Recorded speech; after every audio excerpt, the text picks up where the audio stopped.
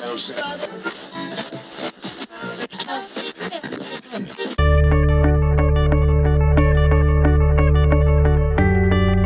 guys, today i-review ko itong collaboration ni Nadine Lustre with BY- BYS Cosmetics. Ah, kung hindi ako nagkakamali, BYS is an Australian brand and I don't know I don't know if you would call it a drugstore brand kasi hindi siya hindi siya murang-mura.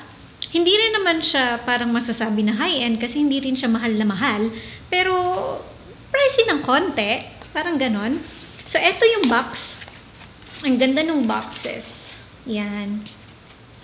So, tatlo lang yung binili ko. Hindi ko binili lahat. Alam naman ninyo guys, um, halos lahat ng, ng review ko as of now, uh, hindi sponsored. So, binibili ko yung mga products na ginagamit ko and nire-review ko. And so, I chose these three lang kasi um, I don't think I need two eyeshadows. And actually, mas interested ako dito sa my bronze and highlight palette and dito sa my liner. So, isa-isahin natin. So, ito yung box ni bronze and highlight palette. And ito naman yung pinaka product. Pag open, makikita ninyo dun sa may ah, review, an application mamaya, na merong plastic, merong parang seal itong, itong product which I really like kasi ah, maiiwasan yung, yung, yung medyo nahahawakan siya or nasusundot siya. So, meron siyang mirror and then meron nitong dalawang bronzer, isang, actually dalawang pang contour kasi dalawang matte. Ito siya. And then ito, may shimmer, so bronzer siya para mag-add ng glow sa skin and magmukha kang parang um, you've got some sun, para kang naarawan. And itong dalawang highlighters, isang puti or parang ah, hindi siya off-white, ayun, off-white, parang ganon, hindi siya puting-puti eh. Tapos itong medyo pinkish. And then, meron siyang brush pala na kasama. Tapos, eto namang eyeshadow. So, eto yung box ni eyeshadow. And eto yung eyeshadow itself. Meron siyang kasama na brush. Eto yung brush niya. And eto yung eyeshadow. So, parang tatlong dark and then dalawang light. Lahat sila may shimmer. Etong parang medyo peachy or light na nude, parang ganon. Siya lang yung medyo tumiha, um, hindi masyadong ma-shimmer, parang glow lang, parang ganon. Pero lahat sila um, may shine, walang matte sa kanila. And then sa pencil, so eto yung box, so eto. And then dito siya sa may mata ko ngayon. I'm not sure kung kita siya dito sa camera kasi medyo malakas yung ilaw ko. Ang peg nitong collaboration ni Nadine tsaka ng BYS is itong lustrous. Kung makikita ninyo yung print, yung picture ni Nadine is um, si Frida Kahlo. Ngayon, kung hindi ninyo kilala si Frida Kahlo, stop this video for a while or pause this video for a while and i-google ninyo siya. She's a very interesting woman. So, eto na yung nagawang look. Actually, nag-enjoy ako. Um, gusto ko pa siyang lagyan ng bula-bulaklak dito sa taas eh. Kaso, ah, ang hirap nang ilagay. So, okay na yan. Um, mahilig siyang mag-braid ng hair niya. And, ayan lang yung nahanap kong parang, kunyari, braided yung hair ko. Pero, carry-carry na. So, punta na tayo sa may demo. Ilalagay ko muna tong Bell Hypoallergenic na liquid eyeshadow base.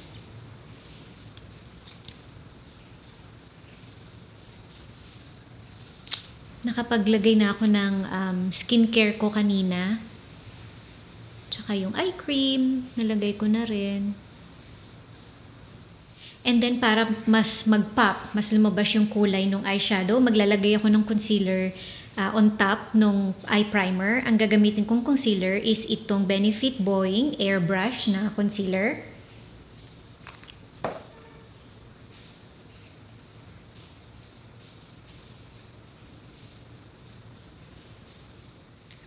Ito yung eyeshadow. And pagbukas, ito siya. May kasama siyang brush eh. Ayan siya. Ito, synthetic siya na matigas. Hindi ko siya gagamitin kasi um, masyado siyang madulas. So, I will be using my own brush. Kukunin ko tong parang coppery na shade. Tapos ilalagay ko dito sa crease ko. Medyo powdery siya.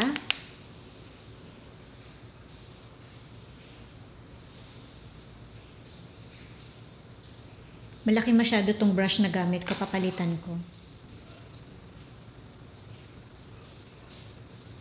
Okay lang kahit hindi um, blended na, na maayos. Biblend pa natin yan later. So, ganyan. Nilalagay ko lang siya dun sa crease. Sa pag kumukuha ako ng product, wala naman masyadong um, parang yung crumbling. Meron konti, pero hindi rin ako madiin eh. Tapos, uh, binablat ko siya sa tissue bago ko ilagay sa mata ko para maiwasan yung fallouts. Kukuha naman ako nitong parang red or red. And then ilalagay ko sa buong lid ko.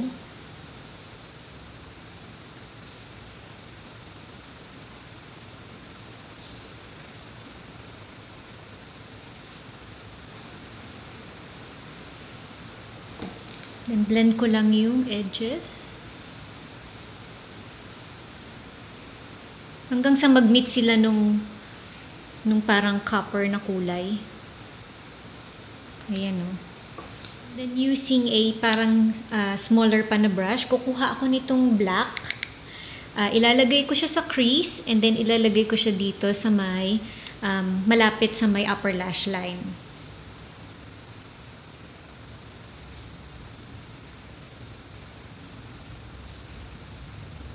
Kita niyo yan?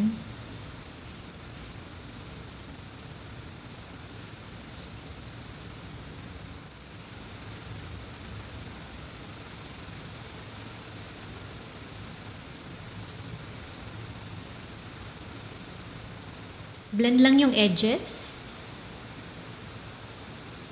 Uh, it looks funny kasi lahat nitong eyeshadow ma-shimmer So, actually, kailangan yung ginagamit dito sa may crease area, uh, mas maganda matte. Pero, we will do what we can do using this palette. Naglagay na ako ng base makeup and ginawa ko na rin yung kilay ko. Dahil wala siya nung black na eyeliner, um, I will be using a different brand ng uh, black na eyeliner and ilaline ko lang yung top um, nung lashes ko. Ngayon na nakapag-eyeliner na ako, um, ika-curl ko lang yung lashes ko and then maglalagay ako ng mascara.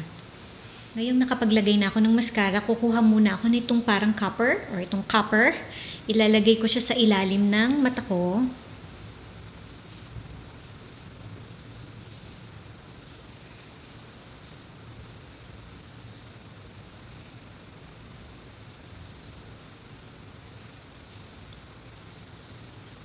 And then, papatungan ko siya nitong red or parang burgundy.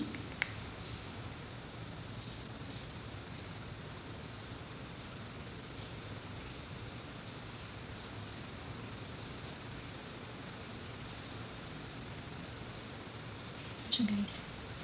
Tapos, uh, kuha tayo nitong parang dark gray or black. And then, kuha kayo ng medyo manipis na brush.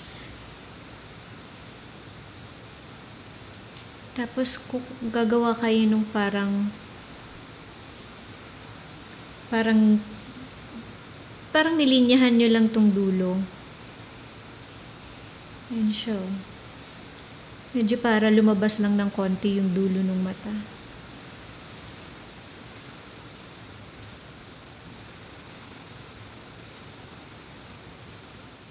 Ngayon naman, uh, paghahaluin ko itong parang flesh tapos itong white, tapos ilalagay ko dito as highlight dito sa may brow bone.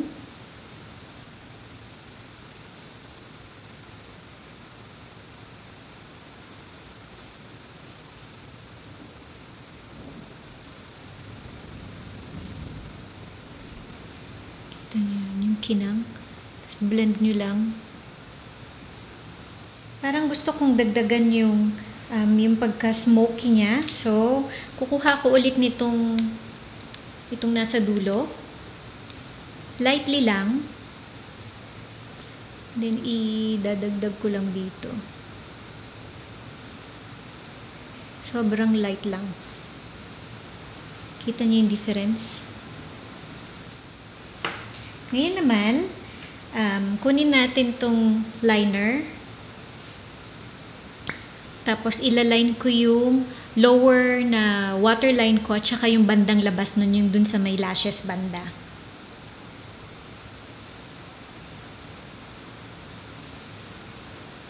Lumalabas ba? Okay, mukhang kailangan natin siyang i-warm up muna ng konti sa balat. So, ito yung kulay niya.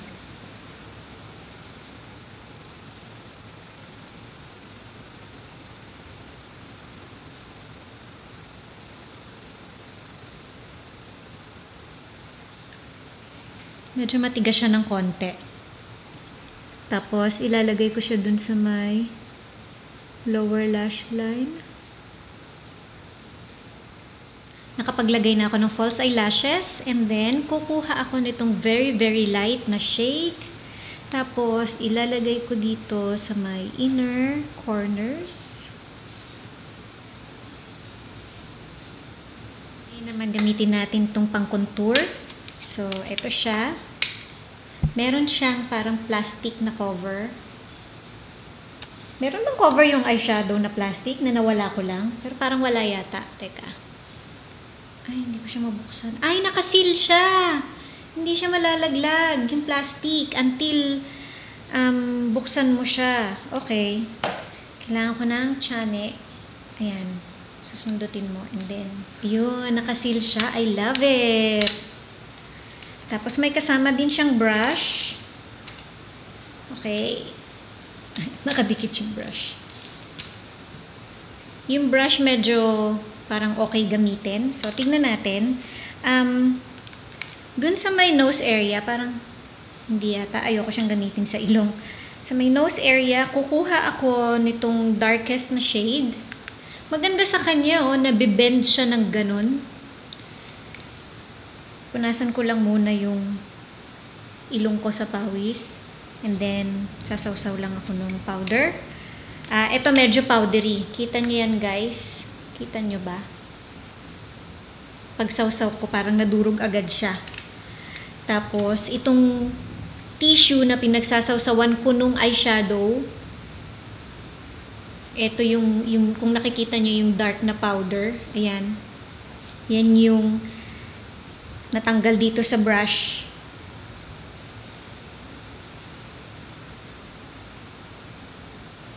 Medyo muddy yung kulay niya. Pati yung texture. Blend na lang natin ng maayos. Ngayon sa cheeks, gamitin natin tong ano, kinakabahan ako. Baka masihira.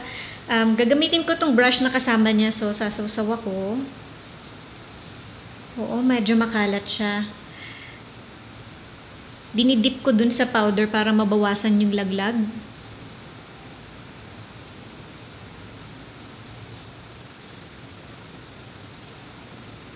Ano siya?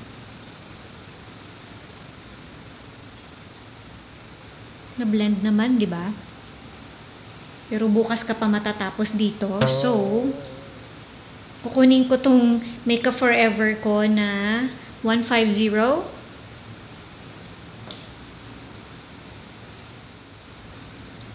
A little goes a long way. So, light lang yung sausaw. Yun, no?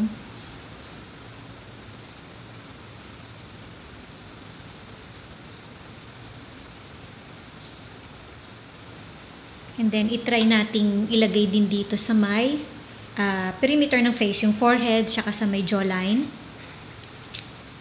Kumuha ako nitong sumunod sa dark na shade. Ito, gusto ko lang makita kung ano yung kulay niya pero parang mapula siya.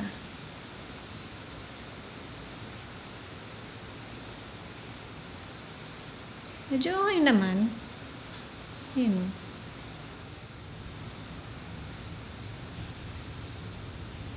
Parang iba yung texture nitong sumunod sa dark na shade. Medyo mas madaling uh, i-blend and walang masyadong crumbling. Pero sa cheekbones, babalik ako dito sa my dark na shade.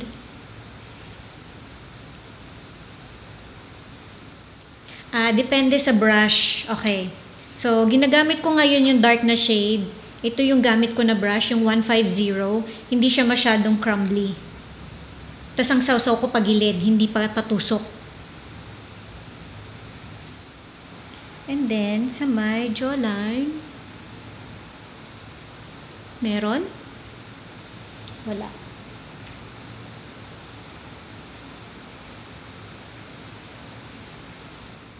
Ngayon naman, kukuha ako nitong, itong may shimmer, yung parang bronzer. Sobrang light lang na sausaw. And I'm using this 148 brush from Makeup Forever. Lalagay ko lang siya dito sa may cheekbones ko, sa may cheeks, para lang mas magka-glow. Using this brush, uh, hindi siya masyadong nag-pick up nung shimmer. Parang sakto lang. Ayan siya. Oh. Compared dito. Wala. And then, kuha tayo nitong uh, yung very light na shade. I think sobrang light niya. Pero tingnan natin. Dito lang sa may tip. Ayan o, oh, ang glowy. And then, konti dito. Nagkikling siya sa um, textures and dry patches. Meron akong pimple dyan. So, medyo nag-cling siya. Okay lang. Yung tira ilalagay ko dito sa may inner corners.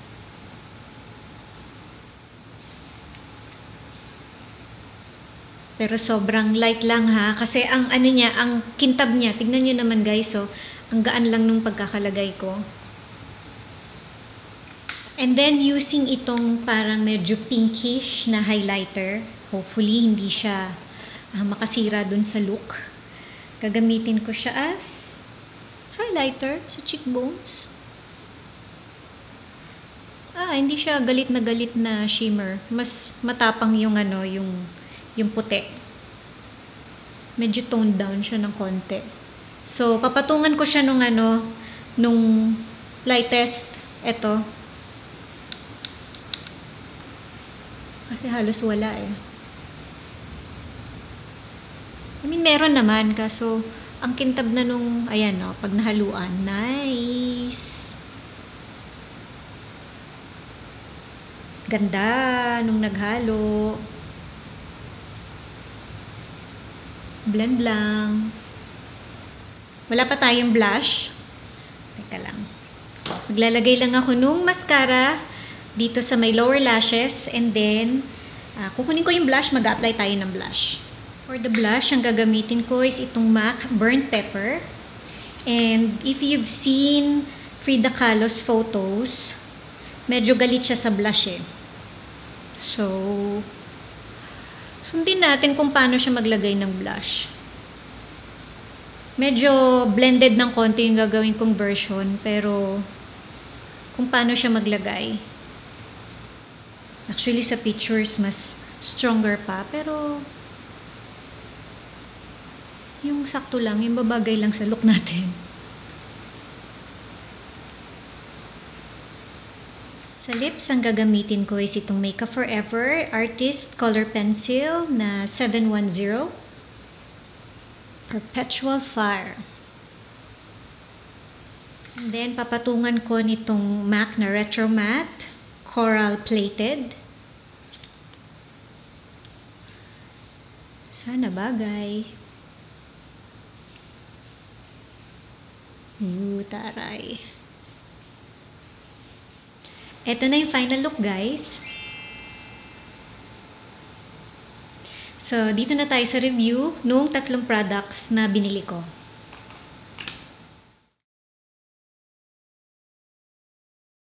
Dito muna tayo sa may eyeshadow. Uh, maganda yung lalagyan niya. Actually, lahat sila, magaan siya. And meron ditong picture sa likod nung, nung mga eyeshadows. Itong brush, um, yung texture kasi nung brush, masyado siyang parang stiff na synthetic.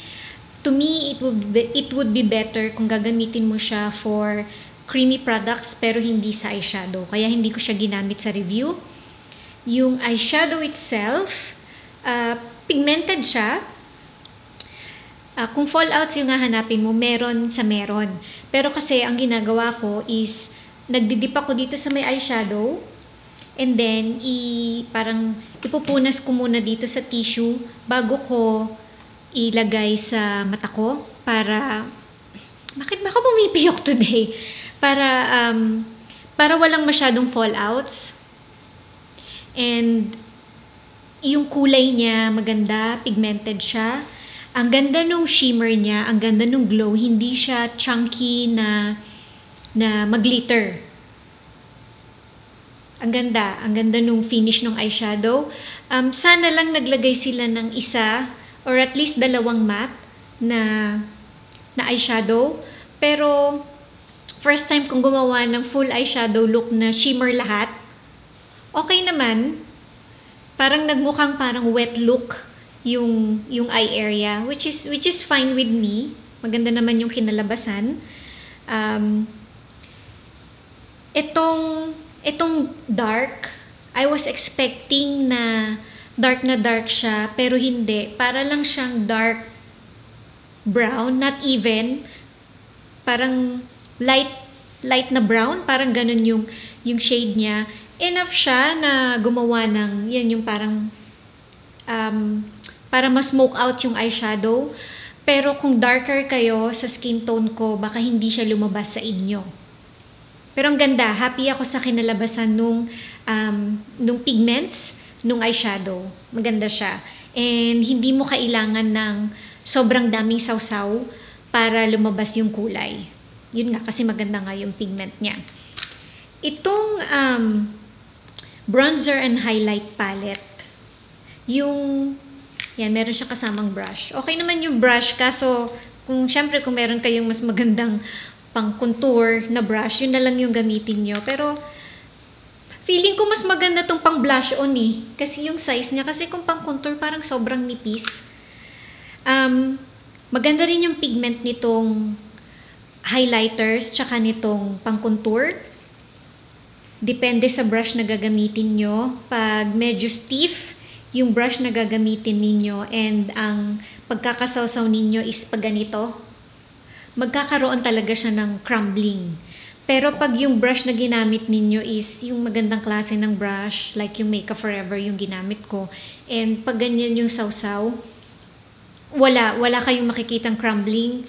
Um, nung una, um, parang nung eto yung ginagamit ko, parang hindi maganda. Pero nung ginamit ko na yung Makeup Forever na brush, okay siya sa akin. Okay yung pigment niya. Okay yung madali siyang i-blend. Gusto ko tong bronzer. Hindi siya yung galit na galit na ma-shine. Siyempre, depende din sa brush na ginamit ninyo or gagamitin ninyo. Pero using this 148, enough lang na glow yung binigay niya sa skin ko. And itong dalawang highlighters, itong puti, nakita naman ninyo sobrang glowy and itong medyo pinkish, parang tama lang. Actually, hindi ko na napakita sa camera nung nilalagay ko yung highlighter dito sa chin. Bihira akong maglagay ng highlighter sa chin. Actually, iniiwasan ko siya kasi nag-oil up ako dyan sa T-zone. Pero dahil hindi masyadong matapang yung shimmer or yung glow nitong medyo pinkish, yan, nagamit ko siya sa chin area. And nakita naman ninyo dun sa may application na dito sa may cheek area, pinagpatong ko yung dalawa. Kasi parang hindi enough yung shine na binigay nung pinkish. Pero, okay to. Yung liner, itong nag-iisang liner, sorry, nalaglag yung brush. Um, so, ito yung shade niya. Ulitin ko. Teka, saswipe ko siya ulit. Ito yung shade niya. Nung nire-review ko siya, I mean, nung chine-check ko siya online, parang ayun nga pigmented. Pigmented naman. Pero nung nilalagay ko na siya sa mata, medyo ang hirap lumabas ng kulay. And nung nakuha ko na yung kulay, I'm not sure kung labas siya dito sa camera. In person, um, hindi siya kasing tingkad nito. So, para siyang may halo ng um, brown, tapos ito. Parang ganun ang labas niya sa, um, sa mata. Pero, hindi kasi ako nagline ng puti. Para mas nag-pop out sana siya. Wala din sa isip ko. Kasi nga, nung tinitingnan ko siya online, parang matingkad na matingkad. Pero nung nilalagay ko na, hindi naman pala siya ganun katingkad na sa mata. Pero labas, labas yung kulay.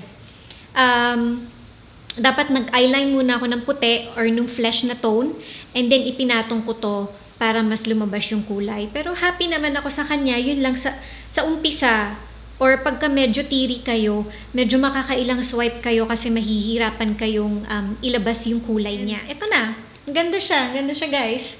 So, kung may budget kayo, kasi um, hindi siya super mahal, hindi rin siya sobrang mura, pero worth it siya. Lalo ito, itong um, bronzer and highlight palette. Kung wala pa kayong palette for like that, bilihin nyo siya, maganda siya. Yung eyeshadow, marami na kayong mabibili kasi nakahawig nito eh. And purong, yun nga, puro ma-shimmer siya. Yung ibang palettes na mabibili ninyo, uh, may mga halo nung, nung matte. So, mas, mas okay. Pero, pero I'm not stopping you to buy this. Ang ganda nung shine, ang ganda nung, nung, hindi ko masabi eh. Parang, ang social tignan nung, nung kulay. Parang ganon. Hindi siya chunky glitter. Ang ganda.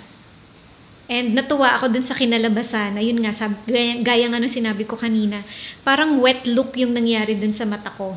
Kasi um, first time kong gumamit ng eyeshadow or gumawa ng eye makeup na puro shimmer lang yung gamit ko.